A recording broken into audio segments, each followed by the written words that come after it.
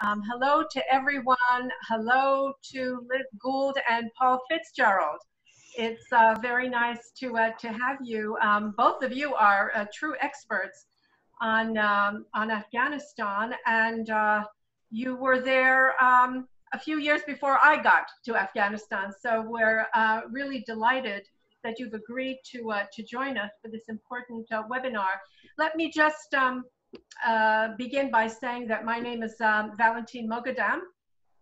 I'm professor of sociology and international affairs at Northeastern University. I'm also um, a board member of uh, Massachusetts Peace Action and a member of the Middle East Working Group. Um, and uh, I was born in Iran. A little bit of background: I was born in Iran, um, and uh, you know later, at the time of the revolution, became very active in the Iranian student movement. Um, and we were all hoping for a very progressive and um, democratic Iran after the revolution, but that did not come to pass. Meanwhile, next door, um, something very interesting was happening in Afghanistan. So as I became increasingly disillusioned with, um, uh, with events and developments in Iran, I turned my attention to Afghanistan, where um, a, an experiment, a really exciting experiment, and a kind of modernizing socialism, pro women's rights, and so on was occurring.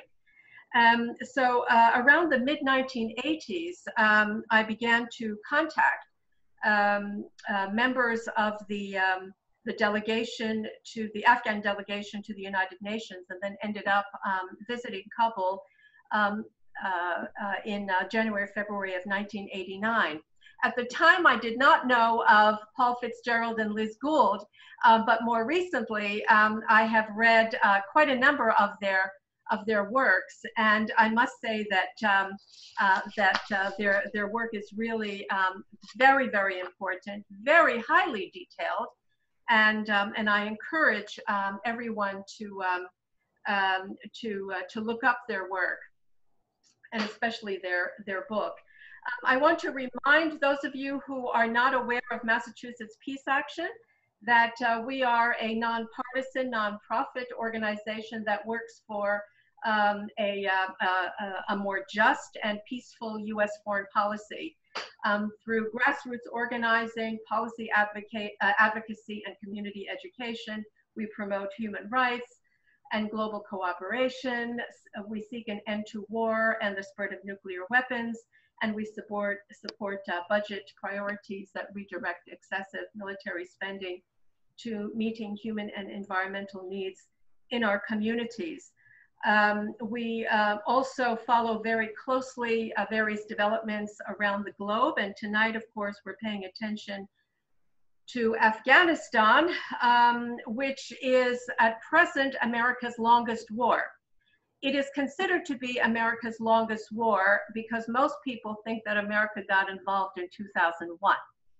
But in fact, America got involved much, much earlier, and that will be the subject of our discussion uh, tonight. Um, America got involved, in fact, even earlier than people, some people think. So some people think that sometime in the uh, 1980s, as the um, uh, Afghan um, civil war was raging, as Soviet troops were um, engaged in the fighting in uh, Afghanistan, that at that point, America decided that, well, it had to uh, intervene on the side of the valiant um, Mujahideen. But in fact, um, that is far from the truth. That's far from the case. American intervention started long before then. And in fact, um, we are here to tell you the story. And um, uh, Liz Gould and Paul Fitzgerald, in, uh, in particular, will tell you the story of how the Carter administration, and in particular, uh, Zbigniew Brzezinski, quite deliberately lured the Soviet Union into what they wanted to create for the Soviet Union, which was a kind of Vietnam that would then spell the end of the Soviet Union as we know it. Um, so uh, we have some questions um, that, uh, that uh, Paul, Liz, and I have circulated, and, and, uh, and I think that also um, probably uh, engage some of you who are listening on. For example, Why is the US still in Afghanistan? When did it first get involved and why? Um, what is the truth behind what everybody calls the Soviet invasion um, of December uh, 1979? Um, oh, hint, it wasn't an invasion. They were invited in. It took the, um, um, the CP, um, uh, the Communist uh, Central Committee of the Soviet Union, quite some time to decide um, to, uh, um, to, uh, to accept the uh, request on the part of the Afghan government to uh, come to their aid. Um, what have been the long-term consequences for the Afghan people, for the region, and for the world of the Carter administra uh, administration's fateful decision in 1978-79 to support an armed, what was actually a tribal, Islamist, highly patriarchal rebellion against Afghanistan's left-wing, modernizing, pro-women's rights government. Why was the United States on the wrong side of that particular um, contention? And finally, what can progressives do to put an end to the sorry uh, record of US uh, disinformation and what um, um, Fitzgerald and Gould call magical thinking um, about, um, uh, about uh, the US foreign adventures. Um, Paul Fitzgerald and Elizabeth Gould um, are a husband and wife team. Um, they acquired the very first visas uh, to enter Afghanistan in 1981. Um, and they were the first. Um, they were the first to be granted the visa um, uh, uh, to um, uh, to undertake uh, interviews and observations there. Um, they uh, carried out a news story for CBS. They produced a documentary called Afghanistan Between um, Three Worlds for PBS, and then they returned in 1983 to Kabul for um, a segment for um, ABC's Nightline, but they have a very interesting story about that. Um, and I think that I will just turn it over right now to uh, Liz and, um, uh, and Paul. Uh, can you just begin by uh, telling us how it was that you got interested in Afghanistan? And then we can take it from there in terms of um, you know, some of the more recent developments um, that, uh, you know, that um, sort of go back to that, that period. So how was it that you got interested um, in Afghanistan? Well, back in, this would be back in 1978, 79, we actually uh, had started a little production company. Paul was working for a television station, and we had an opportunity to do a documentary uh, about the SALT Treaty, the Strategic Arms Limitation Treaty. That was one of the reasons that actually Carter had been elected as a peace president was to push detente and the SALT Treaty. And it was a very big deal at the time because uh, the Vietnam War had devastated the American economy and the American psyche. And uh, the whole idea of looking towards a more peaceful and competitive, a more, more um, uh, less war relationship with the Soviet Union seemed to be uh, growing. And so we did the documentary, and it was beginning to air right around, um, it was ready to air, and the Soviet invasion occurred.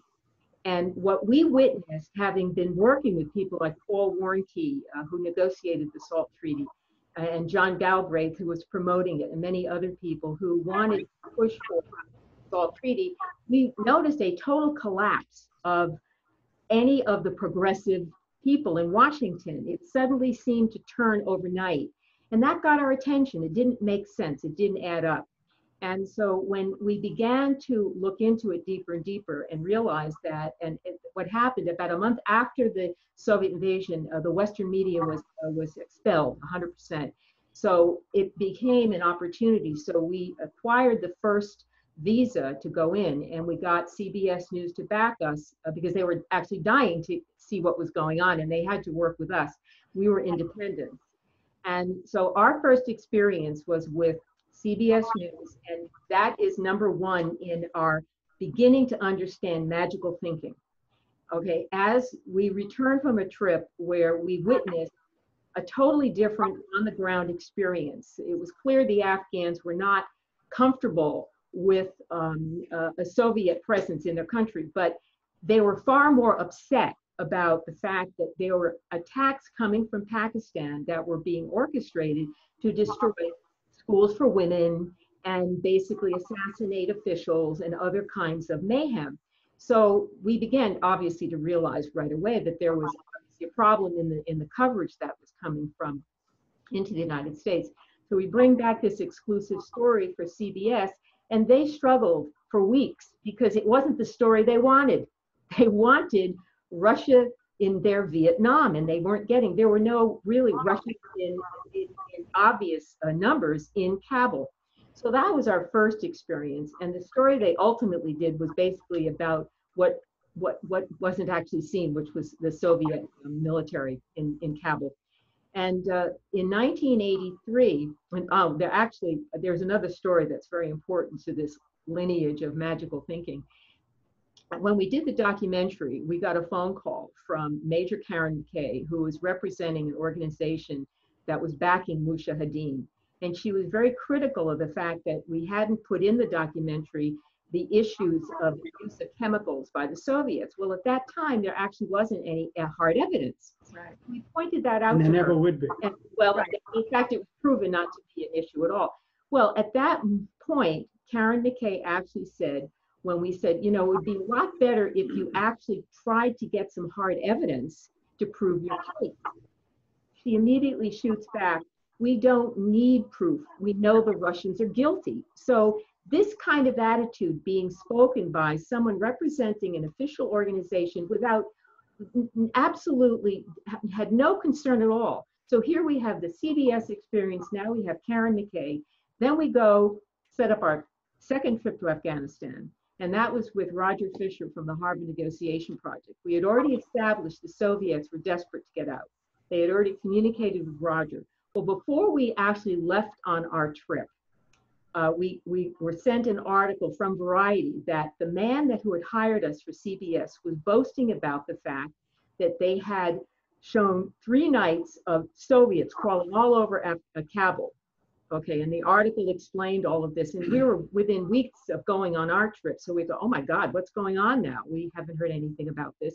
We didn't know.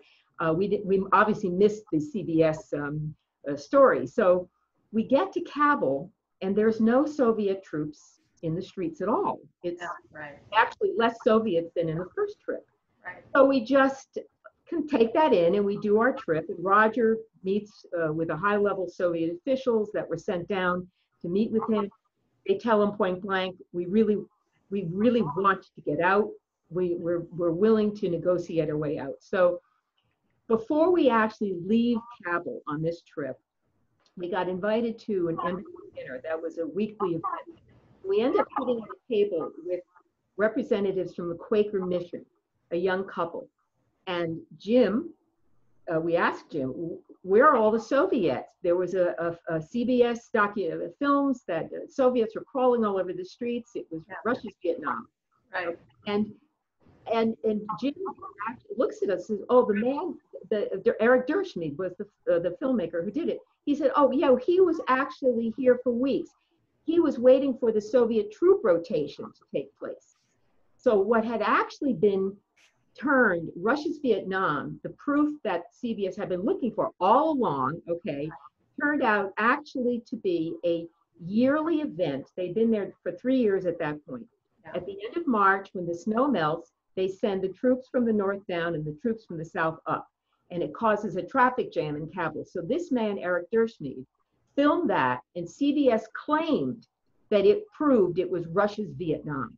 This is how This is, the- I mean, it, it really shows you the extent of the deliberate Yeah. disinformation that was so pervasive at the time. I mean, you and I were um, both following, uh, you know, events over there. Can I just um, give a little bit of background for some of, um, of the members of our audience, just to create some kind of a context for folks?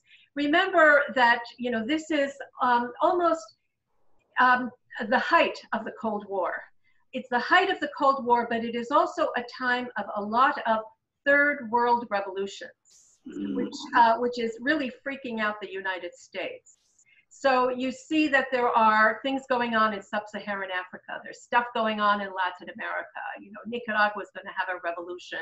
Soon Iran will have a revolution. Um, in Iran, in Afghanistan, they overthrew the monarchy. Um, actually, it was um, the king's uh, cousin, uh, who overthrew him. And um, because of certain types of shenanigans and some um, uh, repression, et cetera, et cetera, there was then an uprising within the Afghan um, military, pro-communist, pro-left-wing um, officers who then carried out a coup that enabled the Afghan revolution in what they call the April 1978 Afghan revolution. Um, that uh, was uh, accompanied by a set of decrees by the ruling People's Democratic Party of Afghanistan, which were so forward looking. You know, Afghanistan had never seen anything like that. And Afghanistan was so much behind its neighbors, even Pakistan, let alone Iran. Um, and uh, those decrees um, were about compulsory schooling, women's rights, lowering the incredible dower or the bride price, um, you know, for women, the rights of all the nationalities, because it's a multi-ethnic society in which the Pashtuns were the dominant society, and all the way at the bottom were the Hazaras, who also used to be the slaves um, in, uh, in Afghanistan.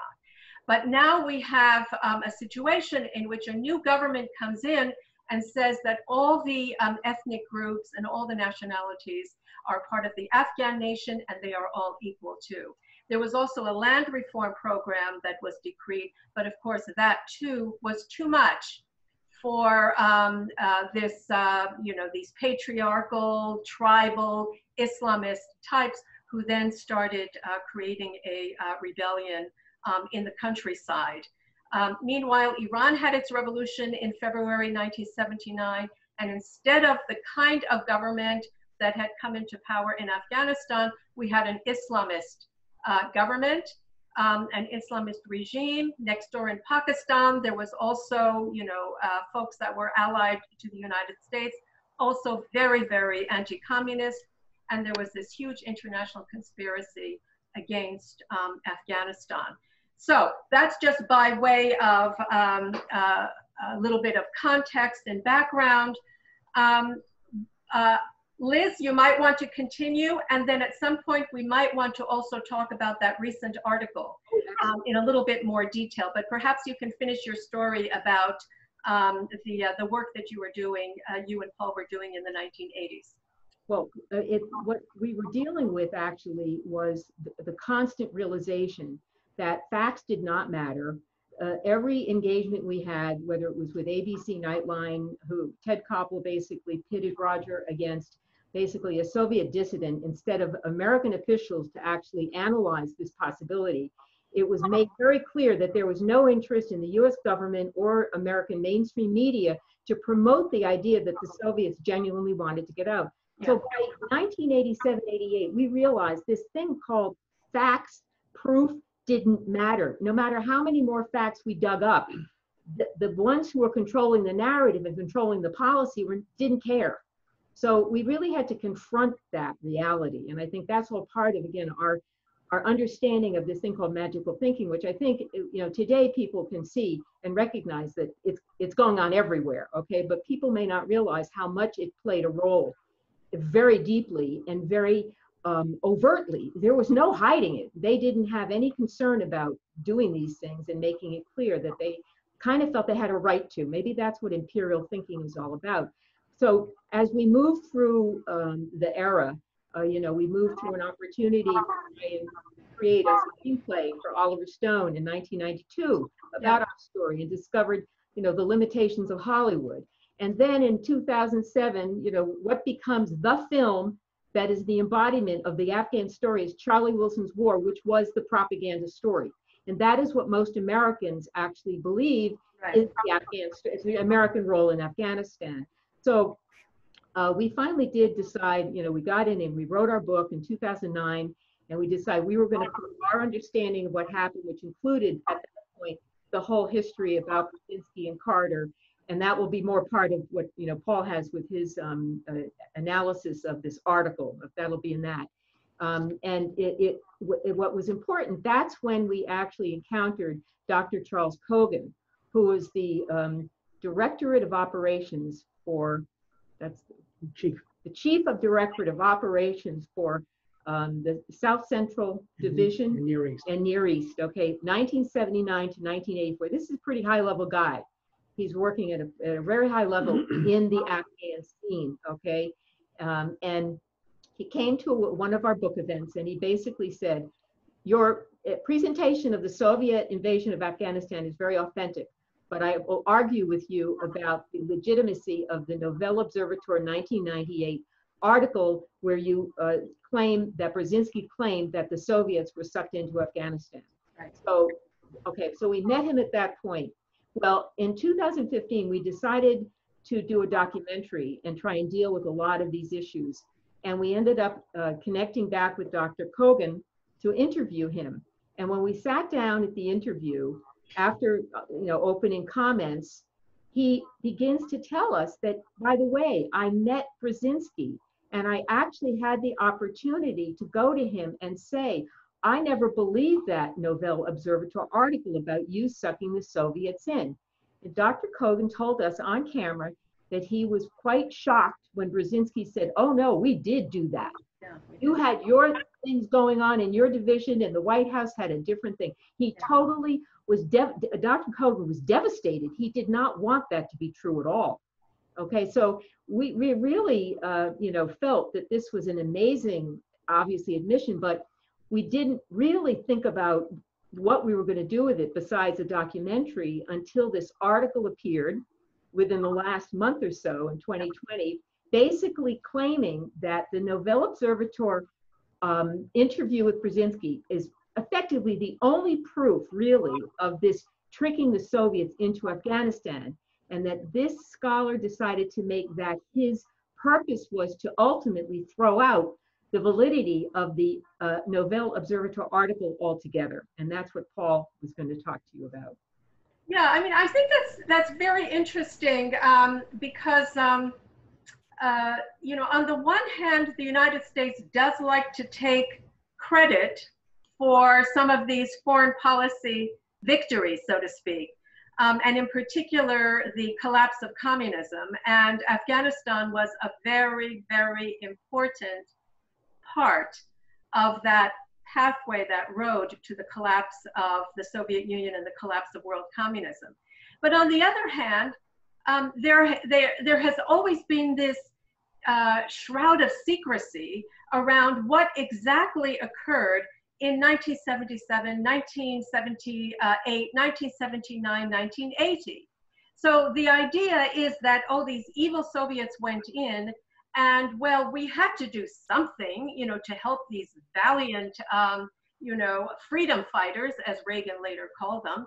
Um, and, you know, that's basically the story that was fed to the American people by the politicians and by the media, notwithstanding your efforts, uh, Paul and Liz, to tell the truth, and also the efforts of a handful of other people, Fred Halliday in the UK, my friend David Gibbs um, at the University of Arizona, he was elsewhere at the time.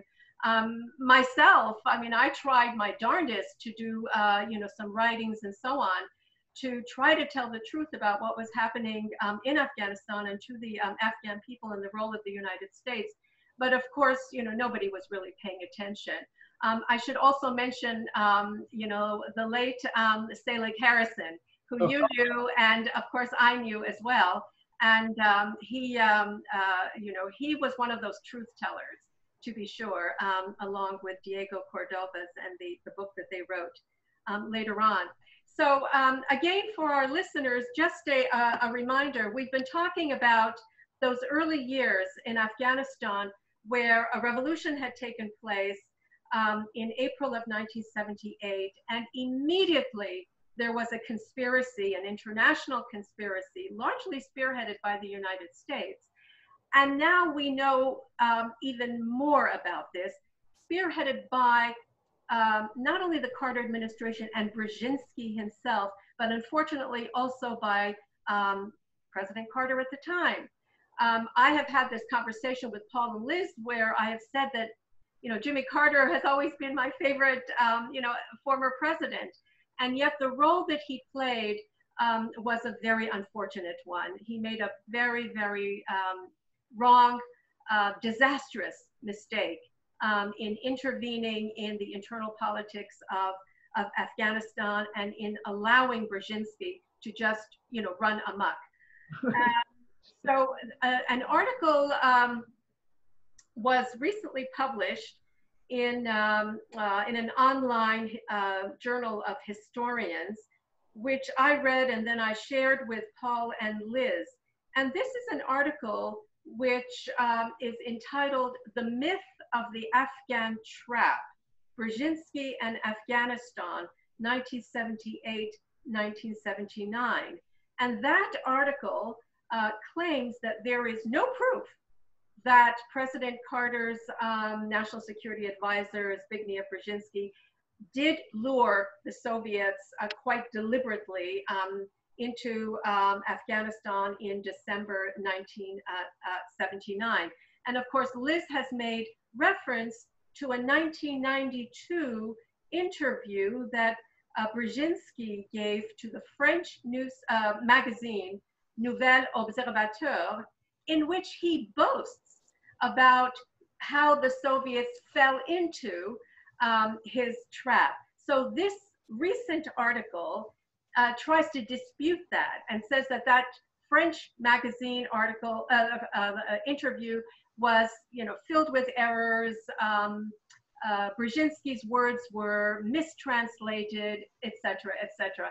And of course, we are here tonight to hear from um, uh, Liz and Paul, and now Paul in particular, to tell us, in fact, why this uh, recent article is wrong and why, in fact, Brzezinski was right in admitting that he and Carter did indeed lure uh, the Soviets into the invasion. And let me also say, en parenthèse, as we say, that when the uh, Soviets did intervene, when the Red Army came in um, in late December 1979, um, we heard, I heard, you know, a lot of people uh, on, you know, in my camps and that sort of thing.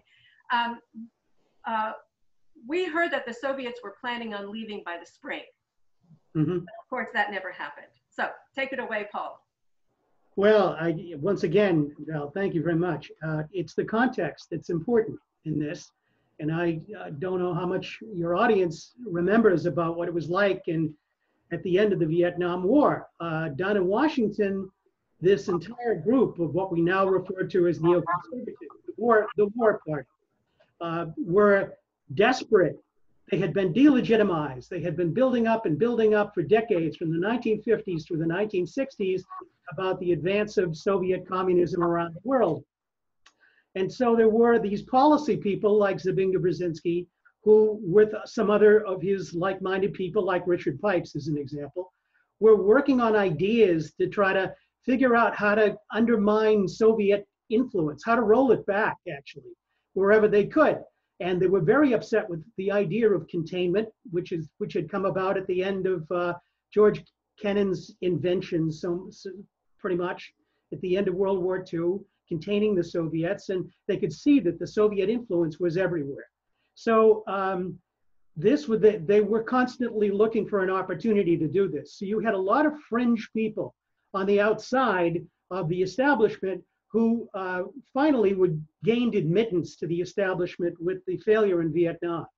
And so you get the Carter administration coming in a year after that, 1976, 19, January 1977, and Jimmy Carter brings with him Zbigniew Brzezinski. Both had been members of the Trilateral Commission. Both were intimately connected with David Rockefeller. They were both proteges of David Rockefeller. And uh, the two of them were kind of like a tag team. And people think of Carter as being this very peace-minded Southern Baptist uh, minister, president who was going to bring peace and harmony to the United States after the trouble of Watergate and the Vietnam War. Well, that that was a deception, unfortunately. And so Brzezinski, on the other hand, was given very some very, very special powers. Now, what was so interesting was is that this happened before they even went into the White House. At St. Simon Island in the fall of 1976, they sat, Carter and Brzezinski sat and reorganized the White House into two fundamental committees the uh, Policy Review Committee and the uh, Special Coordinating Committee, the SCC, which Brzezinski chaired. And so as a result of that, everything Brzezinski decided what would be in the SCC's domain. And so he basically took everything that was important, including covert action, and put it inside the SCC. When they get into the White House, he gets Jimmy Carter to make the National Security Advisor a cabinet level position. He gets an office basically across the, across the hallway from the president, gets to see him so many times during the four years that um, the uh, on in-house record keepers at the White House just finally gave up. Brzezinski would literally had permanent access. He could walk in on the president. He's even been interviewed bragging about the fact that if something was important or if somebody was in there that he didn't want influencing the president, he would just simply walk in and interfere and put his own opinion forward. So his the, the control that Brzezinski took through this special coordinating committee, including over over uh, covert foreign policy and uh, CIA action, was almost almost complete. So that was the kind of backdrop for what happened in 1978 to 1979 with Afghanistan. So uh, Brzezinski, whether he lured him in or not, was the big issue. That was the that was the deciding factor. So um, from the moment Brzezinski's uh, interview appeared in 1998, the yeah. Nouvel Observateur article, people came forward and said, "Oh no, no, no, this is not possible. Absolutely not possible." He's just boasting. He's just boasting about it on, on the one hand, and the other people said, "Oh no, the system doesn't work that way." People like Charles Cogan said, "No, no, no, system doesn't work that way. I would have known completely." I was in regular contact with uh, my my counterparts at the State Department, and, and that we just didn't we, we weren't doing that sort of thing. So, but there was an enormous amount of activity that was going on in Afghanistan. And the fact was is that Brzezinski, from the moment of the April Revolution in 1978, Brzezinski got right on a plane and went to China and proposed to the Chinese a military alliance against the idea of detente. In fact, you know, Cyrus Vance, the uh, State Department um, Secretary of State, actually had to keep reassuring the Soviets that Brzezinski was not working against their interests. But what Brzezinski had actually done was Brzezinski had brought in a press secretary for the uh, uh, SCC, in which he would basically have the SCC go right to the media and tell the media what the policy of the president was, which was basically Brzezinski's policy. So he completely subverted the process of the other committee, the uh, PRC, as well as the function of the idea of the SCC, which was to um, which was to coordinate all these this information. He he got even so good at it, he actually wound up preventing uh, various kinds of meetings from happening of people of influence within the government who were supposed to have access to uh, President Carter. He, uh, he even denied access to uh, Stansfield Turner, the CIA director. And he would schedule meetings so that people who were basically promoting Brzezinski's position would get to see the president, and the other people would be out of town or, or just simply not have any access whatsoever to the president. So this went on and on and on and on and on. So uh, finally, uh, yeah, we moved to Dubs. Mhm. The Dubs assassination. Um, what was just wanted to ask, uh, sorry, I just wanted to interrupt. Well, Didn't all of this also lead to um, Cyrus Vance's uh, resignation? Right, well, Well, the. Iranian. that was over the Iranian- Iranian Yeah, issue? although it- it was all, it was the same all along. Right. He was constantly sidelined. So Yeah. right in the middle of this entire operation, you have a new ambassador who goes in, who had been approved by the Daoud regime before he went in in the spring of 1978. But the revolution happened in the meantime. So he he goes in there and he goes around and talks to some Afghan exiles before he goes, and he says, "What can I do with this regime that's in there?" That we actually spoke with someone who had was approached by Adolf Dubs, the ambassador, before he went, and he said he wanted to know whether he could work with the PDPA or not. So we went and we spoke with Selig Harrison at one point in the in the in the process, and we asked him, "I'm looking at all the evidence here, and I'm seeing the fact that this looks as if Brzezinski was setting it up so that the State Department ambassador Adolf Dubs couldn't be successful." So Sig Harrison had actually gone to Kabul in the summer of 1978 and spent hours with Adolf Dubs. And Dubs had laid out his whole plan, the objective of which was to keep the Soviets out of Afghanistan any further. They had been there actually since the 1950s because the United States had turned down a military alliance in favor of, of um, Pakistan and also Iran. So they didn't really need Afghanistan. And Afghanistan was very independent uh, and very, uh, very nationalistic. The government was very nationalistic of the crown. So at any rate, um, Sig Harrison went in, he got the whole story from Adolf Dubs, the fact what he was going to try to do. He was going to work with Hafizullah Amin, the man that the Soviets would ultimately overthrow. And he was going to try to move him step by step closer to the, um, to the United States, but not so close that the Soviets would feel jeopardized and want to invade. So Sig said specifically that this was exactly, he said, Dubs's plan ran counter to what Brzezinski was trying to do. And he thought that what Dubs was trying to do was all nonsense because Brzezinski believed, like the neocons, that the Soviets were expanding their empire.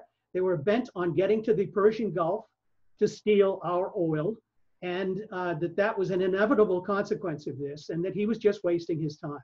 So, at any rate, in the meantime, Brzezinski had worked with the Pakistanis and the Chinese openly to fund uh, armed resistance to what the PDPA was trying to do. They were coming in over the mountains, and the PDPA would even admit to the fact that they weren't, they hadn't really done things very well after the revolution. This was Yes. all a year before the Soviet invasion. I think that's the key. That's right. This is all the activity that our friend uh, Conor Tobin, the author of the article, who's claiming that there's no validity to the claim that Brzezinski actually uh, tricked the Soviets in. This is all the evidence Right. that exists that he claims doesn't exist. Even in the, even the, the Washington Post was even reporting it in the spring of, uh, of 1970, of 1979. They were openly, the Pakistanis were openly training Afghans. There were 2,000 Afghans being trained come over the mountains and disrupt the, the workings of the PDPA. And that by that they meant burning down schools specifically for women, assassinating political officials, going on and on and on like that. So this is part of what we've been dealing with with this, and this is what we'd like to show you tonight, is that the fact that uh, we went back when we our book came out in 2009. Uh, It's the Cogan. yeah, uh, Charles Cogan came to our event. He was the second man up to the microphone, and he said specifically, "Ed, I don't, I don't agree." Liz spoke about that. I don't agree with that idea about uh, Brzezinski. I agree with your position and your supposition that the Soviets didn't want to invade, but they did. So anyway, so we went back to interview him 2015, and lo and behold, we're in the middle of the interview, and he said, "Can I tell you a story?" So this is what we'd like to show you tonight, and run that video. I think it would be uh, it would be very telling for your. And this is the cha, this is our challenge to Conor, Conor Tobin's Right. claim that Right. there is no proof that Brzezinski did in fact make the statements. Right.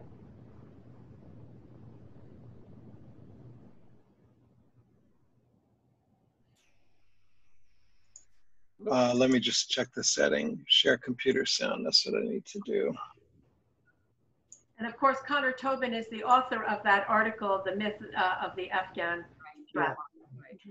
Okay, here we go.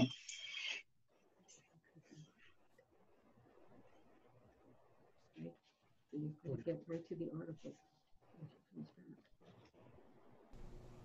Carter is elected on a peace platform, but he brings in Zbigniew Brzezinski as national security advisor. Uh, Zbigniew Brzezinski is known to be a Russophobe, well known in his writings. Uh, Stansfield Turner, CIA Are director, missing the sound? What's disparages the Team B findings.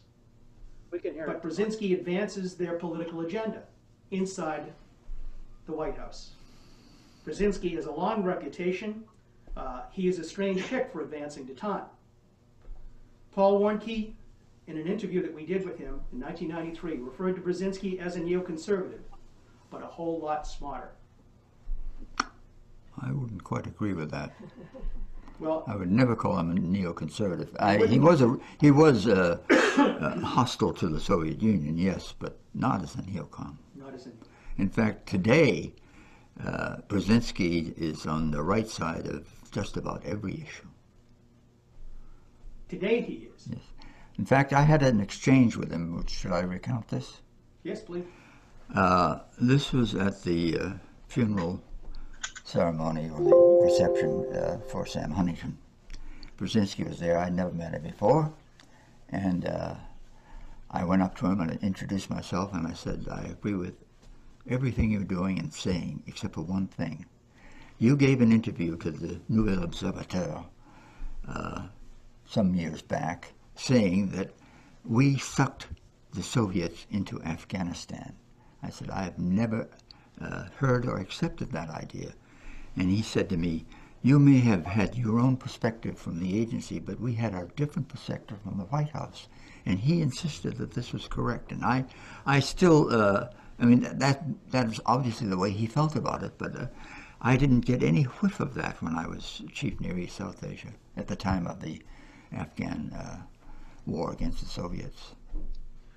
There was uh, Robert Gates, his book From the Shadows, 1996, I believe, hmm uh, stated that the, the, the issues, he starts the section in his book by stating that it was early in 19, early in 1979 when he began, his staff began debating whether they should, quote, create a Vietnam a situation or Russia's Vietnam hmm for the Soviets. Well, as, as uh, Zabinski, uh, Brzezinski said, you have your perspective, and we had a different perspective from the White House. Now, as Chief Near East South Asia, uh, we were not at the political level of U.S. decision making, although we were in very close relationship with state, particularly during the Iran hostage crisis. Uh, I, I was in almost daily contact with Harold Saunders, who was my counterpart in the State Department. But that's still, it's not at the high political level of the White House. So uh, I can accept what Brzezinski said, but it's the first time I'd heard of it, and I was surprised when I read it in the in the French uh, uh, magazine. So you really think that he, he knew more than than you ever were aware of, or being being made aware? of? Yes, and what and now what you say from the Gates book uh, corroborates this. Yeah. Yeah. Okay. That's it. Very interesting. Yes, the truth is out. Um, and uh, I hope that the uh, the history books will will correct this. But why do, why do you think this article came out now? Uh, I'm really, you know, it's I was really curious about this, and of course it irked me to no end. But I'm wondering about the timing of it. I mean, there's uh, you know, this is a time when a lot of, um, uh, certainly a lot of American progressives, but also maybe a lot of Americans, including uh, some folks in the military, are wondering why the U.S. is still in Afghanistan. And of course, this is also a time when um, some negotiations are taking place, such as they are, but uh, you know, um, it might actually be a lost cause. But why do you think this article came uh, out when it did just now? I mean, do you have any any thoughts about that? And of course, um, let me just you know let you um, elaborate more also on on the Cogan um, interview. Liz? Well, well, I think that the um, the Nouvel Observateur interview is literally the most popular piece of evidence that has been used. In fact, I believe that's the reason that a lot of the evidence that's sort of deep research where you really have to go into you know lengthy analysis and lengthy research. It's much more difficult to convince people.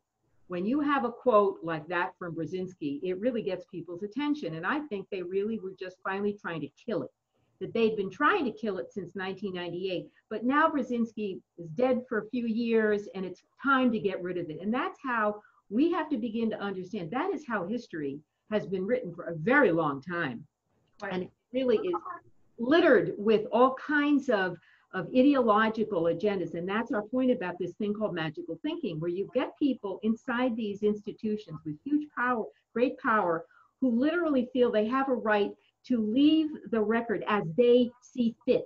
It is not, to, and has nothing to do with what the facts are. In fact, what we're really living in is it's something even more tragic than facts, uh, uh, you know, not being used properly. We're talking about facts being completely turned inside out or thrown out. So, you know, it, it creates completely, as I said, uh, Charlie Wilson's War is the, you know, the most logic, the, the story most Americans think is what happened. So, and Brzezinski, not only that, but uh, Conor Tobin also stated in the article, if it turned out to be true that Carter and Brzezinski was convinced by Brzezinski to do this, then we have to completely rethink the Carter legacy. And that's what we feel that Conor Tobin has to be challenged with.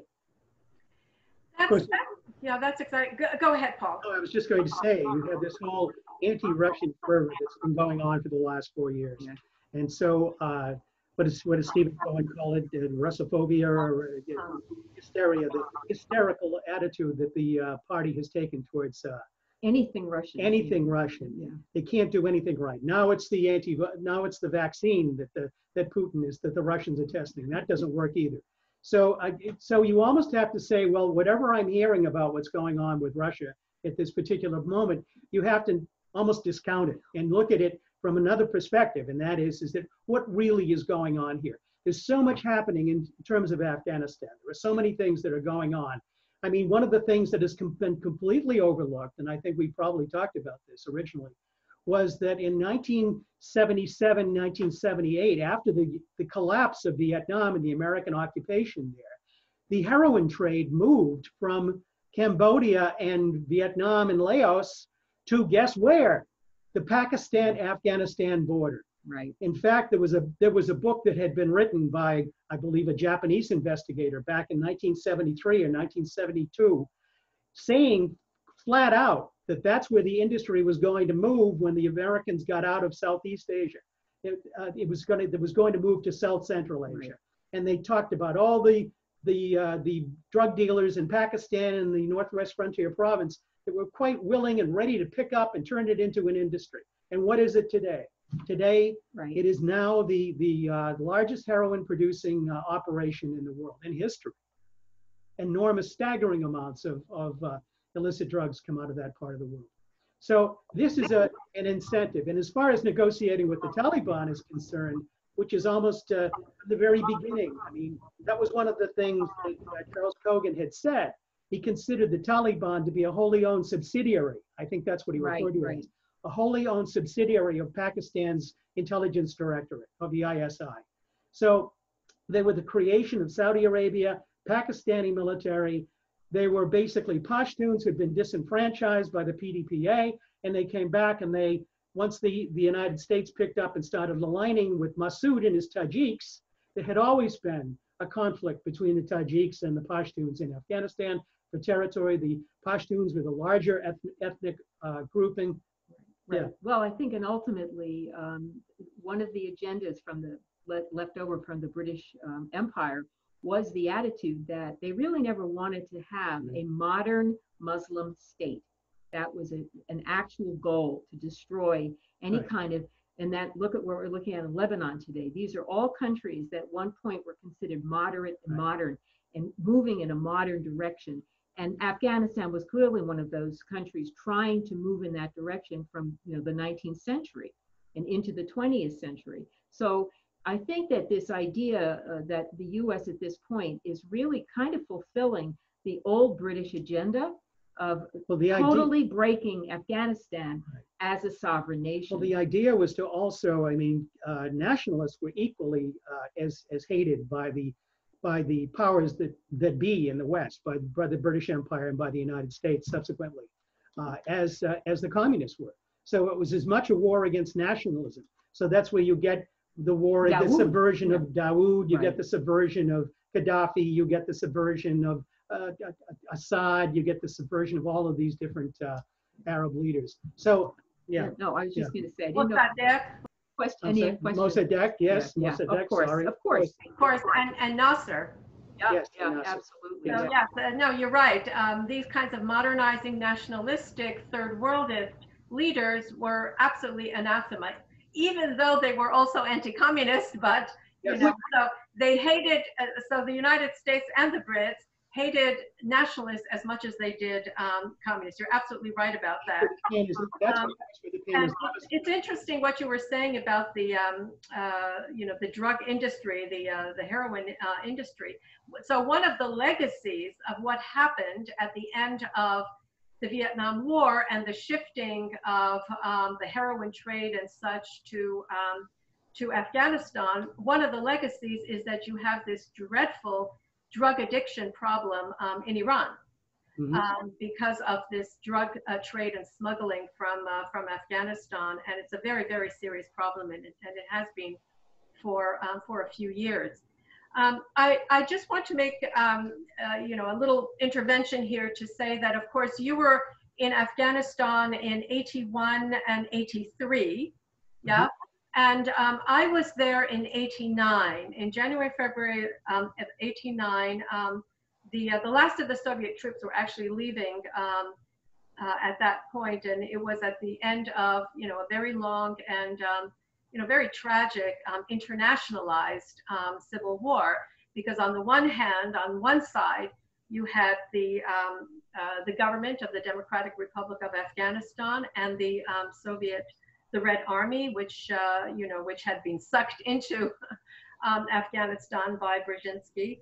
Um, and then um, on the other hand, you had the, the Mujahideen, this seven party tribal Islamist, highly patriarchal, utterly reactionary um, uh, group of rebels supported by the United States, China, Pakistan, Saudi Arabia, Kuwait, and um, lots of also diplomatic and moral support given by, uh, I mean, even countries like Sweden and France. I mean, it was very odd, you know, to me um, to see that kind of support for um, these, uh, you know, the, these rebels who were being compared to, let's say, the Sandinistas. And in fact, they were nothing like them, nothing like them whatsoever. But um, uh, when I was there in uh, early 1989, you know, the government was trying its best to hold on. And they did hold on, even after the Soviets left um, until um, you know April of 1992 when everything collapsed um, and the, uh, the Mujahideen took over. The Mujahideen took over and then started this you know fighting amongst each other, almost decimating, destroying Kabul, which had been you know left more or less intact um, during the 1980s. But when I was there in um, 89, the government was trying to hold on. There were still a lot of social programs um, that were going on programs for women, programs to fight illiteracy, um, programs to improve healthcare, um, some kind of um, you know housing programs too, which uh, you know some Soviet um, you know engineers would be coming in and helping them build these uh, these housing units too. And I was just so taken by that, and I was also taken by how modest uh, Kabul looked, especially when compared to my memory of uh, Tehran. And remember, I had left Tehran in 1975 to go to college in Canada. And um, Tehran was this thriving cosmopolitan, you know, um, city with a big middle class and a modern working class and fancy housing. And of course, my father had been a, um, um, uh, a civil servant. I mean, he was an official of the road, uh, Ministry of Roads and Transportation. There were railroads and you know, national airways and roads, uh, road construction all over Iran. And Afghanistan was nothing like that. I was so surprised by how modest Kabul was and how um, actually um, really um, underdeveloped Afghanistan was. And I kept thinking to myself then and still today, what Afghanistan would have looked like today had Carter and Brzezinski not made that fateful decision to intervene when they did to subvert and undermine a modernizing uh, pro women's rights um, uh, government and then just destroy any hope for any kind of advancement for the people, um, for uh, uh you know various social programs, infrastructure, and so on. And uh, Afghanistan was never given that chance because once the Americans, um, once the Soviets left, some fighting continued. And then, of course, in Charlie uh, Wilson's war, the one um, fault that um, is uh, is addressed to the U.S. is that why did you just leave Afghanistan on its own in 1992? I mean, that's the only mistake supposedly that the United States made. Right. No, the United States made a big mistake much earlier on. So, um, uh, do you do you have any thoughts about um, uh, about what Afghanistan might have looked like had uh, Brzezinski not made that um, uh, intervention? Well, I've actually oftentimes uh, thought about if Brzezinski had used his power to basically deal, if he wanted to, whatever he wanted to do with the Soviet Union, he had left Afghanistan alone. He didn't, and he sacrificed Afghanistan for his lust to win the Cold War. Okay, um, that 9/11 would never have happened, and that Yeah, 9/11 would actually have been the natural, probably collapse of the Soviet structure. That something else, that the Soviet Union was definitely in a process of deterioration. There clearly were, it was hastened by their involvement in Afghanistan, but it was not the cause of it. That was already ongoing. And I think that Brzezinski also did not just draw the Soviets into Afghanistan, but now we can see the U.S. has been brought in, and it is the uh, this is the land where empires die. So, in a kind of irony, I think that you know to me that is the sort of final I think lesson of imperial thinking. It is a very pyrrhic victory, and if you live long enough, you will find out that it wasn't the victory you thought. And I think Brzezinski actually lived long enough to realize that the US was never going to benefit the way he imagined from being the preeminent imperial power in the world. And he couldn't get anyone to listen to him by the end of his life in the meaningful ways that he was talking about, about the misuse of imperial power by the United States and its inability to basically mature as an empire. So I think that that is the ultimate lesson, um, I think, of an imperial mind like Brzezinski's sound. We, we can't hear you. That is really um, uh, a, a, wonderful, uh, very insightful commentary, um, Liz. That's absolutely true, and that is what has happened to the United States in Afghanistan. Um, and uh, you know what uh, what is going to happen um, in the near future is um, I I don't know. It's up in the air, frankly. Um, Paul, is there uh, anything you'd like to add? Or um, I'm wondering if we should open this up to any questions that members of our audience might have. That would Anyone be has great, a sure. question, Sure. All right. Any um, people can raise their hand or um, just um, jump in. So you, you can go to the participants window and find your name and there's a thing that says raise hand. You can do it that way, or you can just go like this and maybe we'll see you. May we may not. Or you could just write it in the chat. That's the other way. There's a way that you can do it. Yeah. Yeah. This has been quite an interesting, um, this article really, um, you know, uh, really threw me for a loop. I was surprised that it actually came came out when it did, and it's written by somebody in Ireland. Right. Yeah, which is uh, you know which is also very counterintuitive. I mean you know what's that about? Why? And so on. Um, but um, um, but trying to revisit that era and trying to whitewash um, the uh, the carter administration um, very, it's a very clumsy effort. He made some, some really glaring errors in terms of what he used to support Brzezinski during that time period. I mean, that, one of the things he did was to cite that Molotov-Ribbentrop um, quote, uh, where supposedly, this is the misquote, Brzezinski told Carter, the reason why the Soviets were going into Afghanistan was is that this had been in in the pipeline since World War II and the Molotov-Ribbentrop agreement, uh, the Nazi-Soviet agreement, where the Soviet Molotov, the Soviet representative, had said to Ribbentrop, "Yes, our interests are in the Indian Ocean and below Afghanistan into the Persian Gulf." Okay, so this is a mis. It was a misinterpretation. Garthoff actually has it in his book as an example of the kind of abuse that Brzezinski used to do and the kind, the way he would misinform the president about things historically that weren't true. And so it would be the opposite of that. In fact, it was it was the Nazi, it was Ribbentrop that made the suggestion at, at Hitler's request about whether the whether if they went around in certain areas in the Ukraine and did what they were going to do in Baku and uh, that part of the world, would the Soviets take up the position? Would they go in and assume the responsibility for Afghanistan and those areas south of uh, south of Baku in that area? And so, as a result of that, um, it was it was the opposite, and Molotov wouldn't respond. In fact, he finally had to say, "No, we didn't do. That.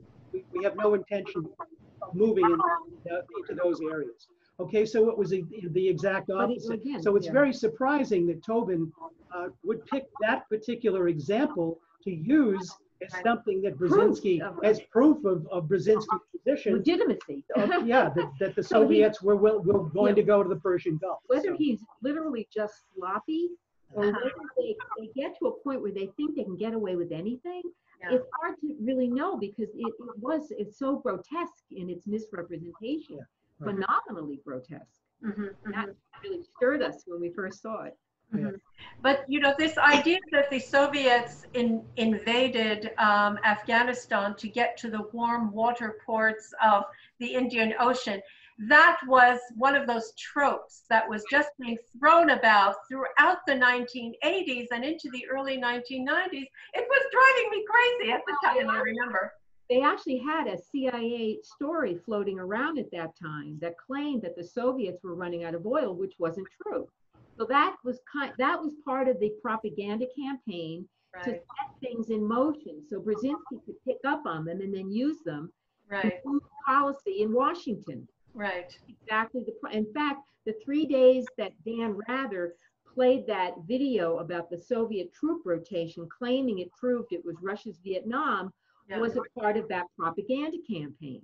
right, And that happened, as you know, that would have been in 1983 when that happened. Yeah. I want to read, let me read a, a quote to you. This is a guy who was a member of the National Security Council. His name is Helmer, John Helmer, and he was, uh, he wrote in a blog post in 19, in 2017, he said, from the start, in the first six months of 1977, Carter also warned explicitly by his own staff inside the White House not to allow Brzezinski to dominate his policymaking to the exclusion of all other advice and the erasure of the evidence on which that advice was based. He would So therefore. If you're an if you're, if you're an academic and you're going in and looking at the official record, and don't count into the fact that Brzezinski was known to get people, he could, took control right down to- of all the meetings that the president had. He took control right down to the fact he typed up the notes of the meeting and then presented them and interpreted them for the president. So this is the kind of thing that people were warning Jimmy Carter about, which he apparently didn't listen. well, Well, I I- So I'll ask a question if others, if you'll permit me. Let's uh, take our speakers to the present day. It's 2020. A new uh, Cold War is beginning between the China, Russia, and the United States. With Afghanistan, why is the United States in Afghanistan today in the current conditions? And what are the forces that might make it leave? Well, I'd say the first reason is strategic positioning. I think this has been the plan all along. Afghanistan is centrally located. Uh, it's the belly button of South Central Asia. Uh, it has a, And the drug trade is set and the there. drug trade is already set up and very lucrative. I'm sure that there are people who are part of this process who are benefiting greatly from that. That's that's one reason why they're still there, and that's one reason why they're themselves there in the first place. also because of Iran. And because Right. They want, they want to maintain um, a presence right at Iran's uh, doorstep. exactly, Right, right. exactly. Right. And so, um, in terms of what can be done about that, I think that uh, once again, people just need to know what you guys are doing is fantastic in terms of just getting people to understand what the real issues are, and the fact and not be deceived.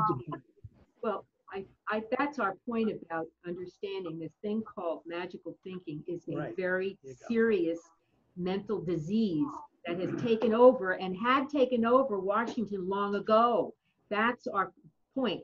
In fact, preceding what Brzezinski did in 1979, there were plenty of crazy people like him running around, but they didn't have total control.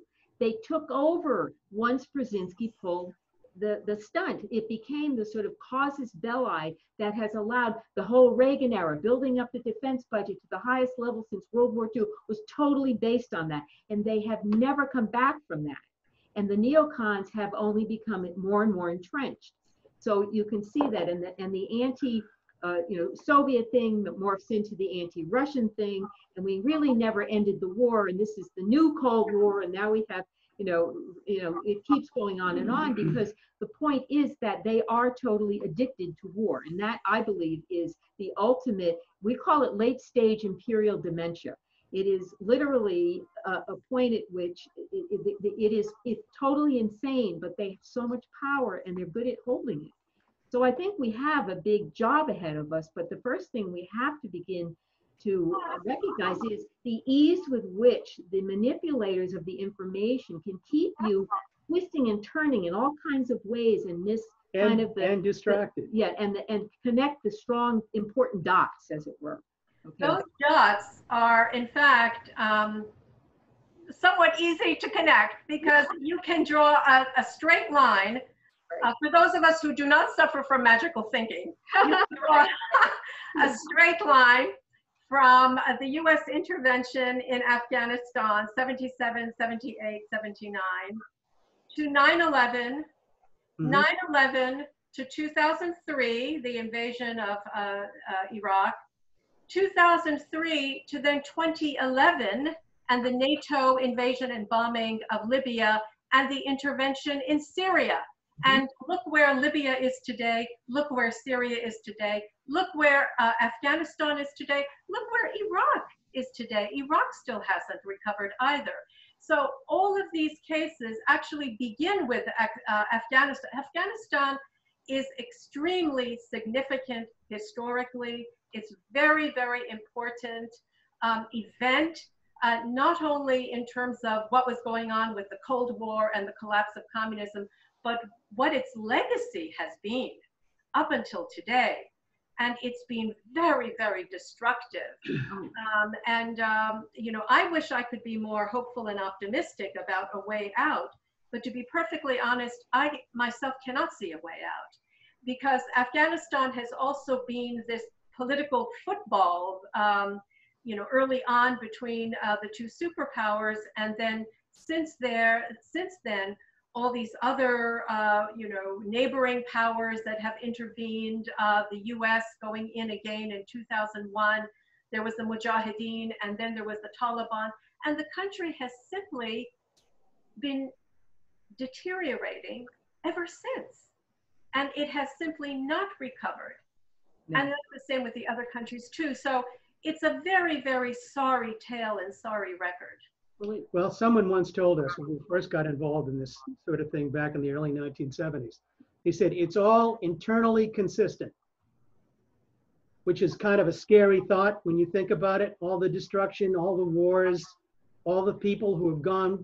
When you look at Afghanistan as an example, Zalmay Khalilzad was recruited by the CIA, brought to the United States, educated at the University of uh, Chicago.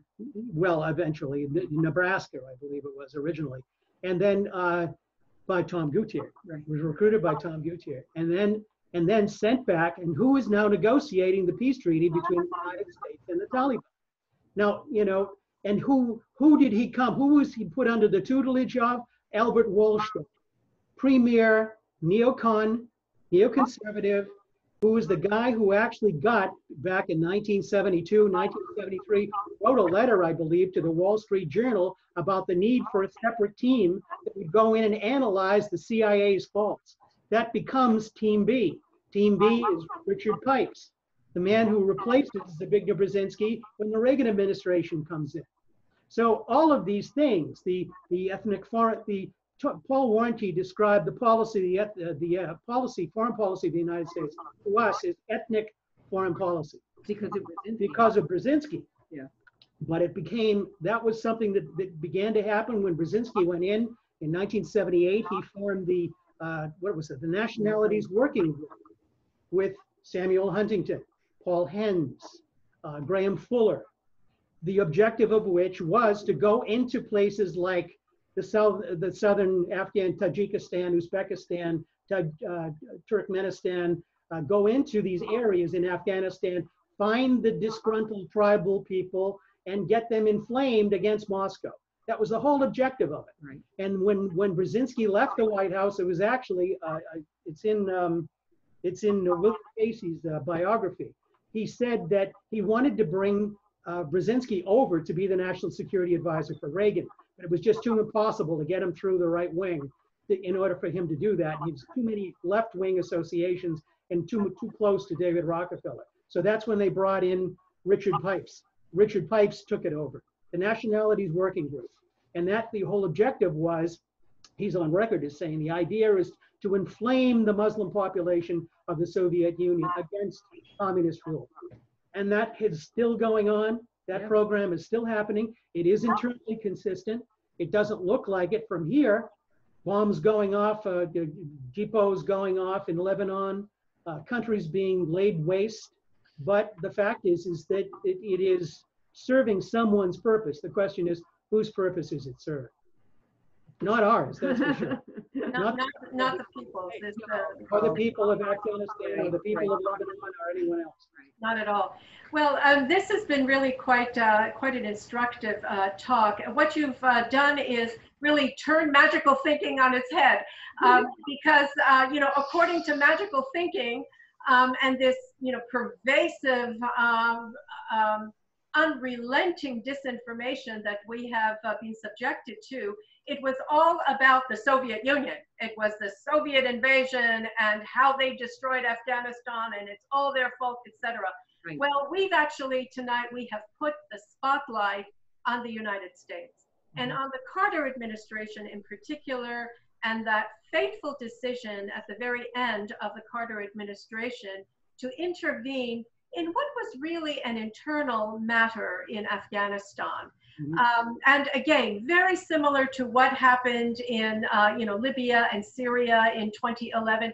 These are internal issues and matters. It is between the people and their government, and it's the people and the, uh, their government that should determine the outcomes, not ex- external forces.